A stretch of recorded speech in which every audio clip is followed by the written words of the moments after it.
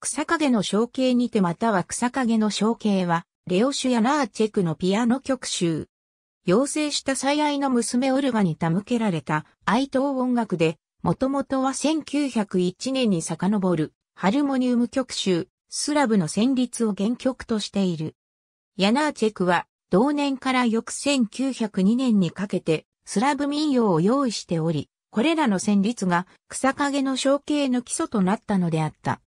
1908年に作曲、出版された第一集第1週から外された商品と1911年の未発表作品を組み合わせて1942年に発表された第2週及びそのホイからなる。いくつかの商品は映画存在の耐えられない軽さのサウンドトラックに利用されている。次の10曲からなり、全曲を通して27分前後を要する。全曲を通じて、表紙や速度の頻繁な変更が目立ち、ポリリズムも多用されている。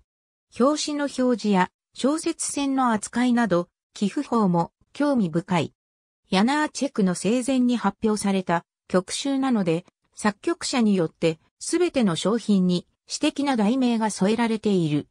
終曲の題名にあるフクロウは、モラビアでは死の象徴であるという。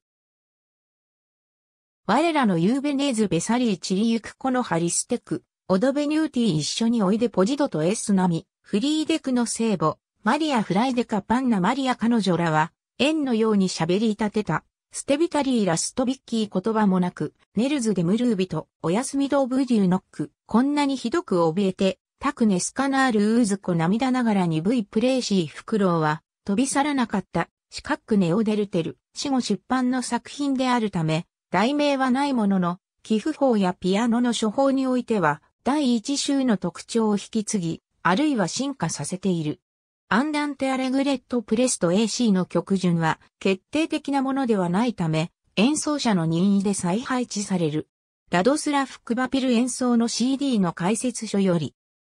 ありがとうございます。